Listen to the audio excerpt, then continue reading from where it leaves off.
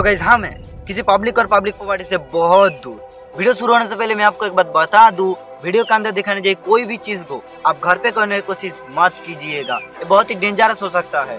ये सिर्फ़ आपके एडुकेशन के लिए। आज हम बहुत ही गर्मी ऑयल के अंदर पानी को डाल दूँ।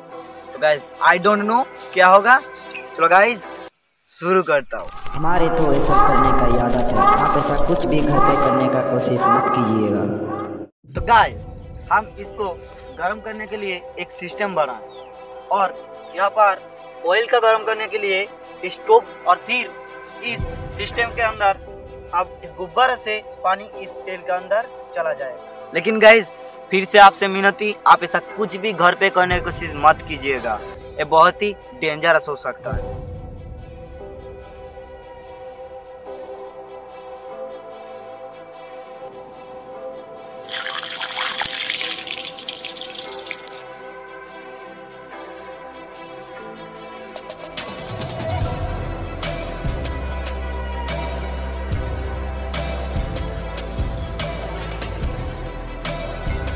Guys?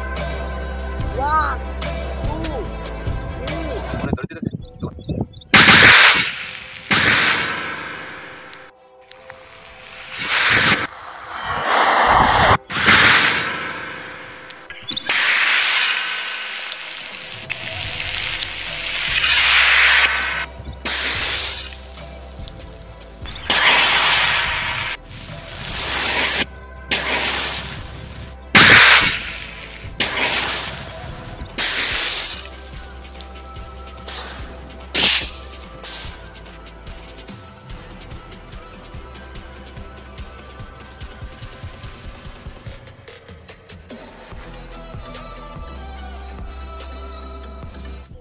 तो गाइस आखिर ऐसा हुआ कैसे? इसका पीछे क्या रीजन है?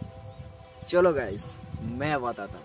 इसका पीछे एक साइंस का बहुत ही मज़ेदार रीजन है। तो गाइस आप लोग जानते हो 100 डिग्री सेंटीग्रेड टेम्परेचर से पानी भास्पित होता है। लेकिन गाइस वो ऑयल का टेम्परेचर उससे भी ज़्यादा है। इसलिए वो पानी जब ऑयल के स्पर्श में आया, तब वो बहुत ज़्यादा स्पीड से वाष्पित होता है।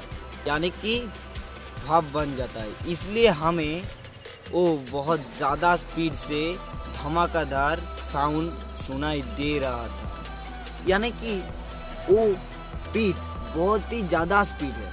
इसलिए हमें वो धमाका वाला आवाज़ सुनाई दे रहा है। तो गाइस कैसा लगा एक्सपेरिमेंट अच्छी लगे तो एक लाइक कर देना और चैनल को सब्सक्राइब कर देना। तुम लोग वीडियो को देखते हो, लेकिन लाइक और सब्सक्राइब नहीं करते। कर दो ना यार, एक ही तो लाइक और सब्सक्राइब है। एक लाइक और सब्सक्राइब हमें बहुत मोटिवेशन मिलता है। तो गाइस फटाफट कर दो। मिलते हैं अगले वीडियो पर। तब तक के लिए जय हिंद जय हिंद।